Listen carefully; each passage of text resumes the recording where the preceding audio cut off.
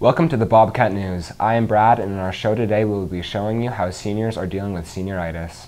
And I am Mark. Here we will also be a look at the now famous Walmart yodeler.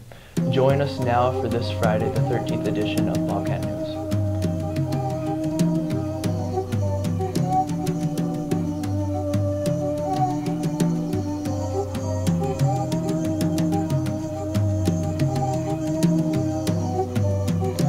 Well, it's that time of year again, and the seniors of Madison High School are feeling the effects of senioritis.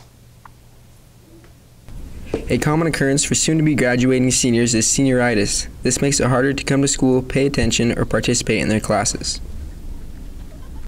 Um, every day I come to school, it just gets harder and harder just to like stay active, I guess, and like all the activities and like I don't know, like it's just hard to come to school. There's nothing to do. Um, they don't want to do assignments. They complain in class. They have trouble focusing. Class sizes are smaller.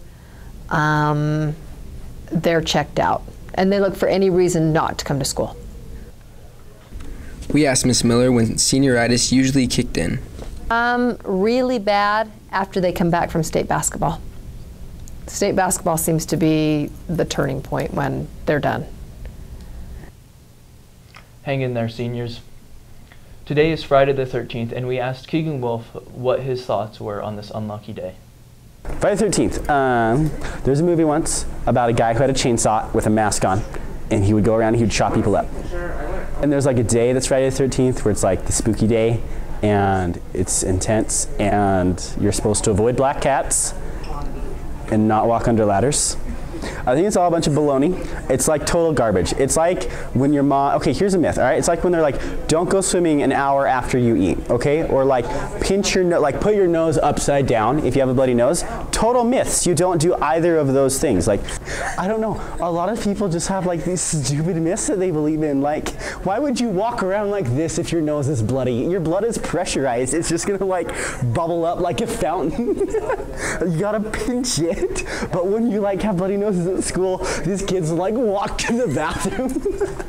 but yeah, so no, I don't believe in that stuff. But I want people to because it's funny to watch them do stupid things. I love people, don't get me wrong, but I think it's really funny. After the break, we'll bring you the sports scores from this week.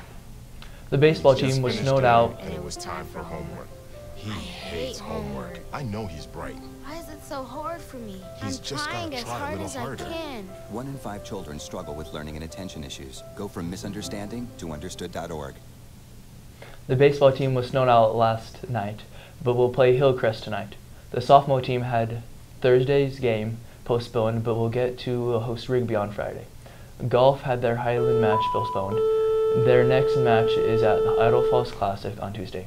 Track returns from a strong finish at the Boise Relays last week and is headed for the Rigby Invitational today t- and tomorrow. Finally, tennis is at Idaho Falls tournament this weekend.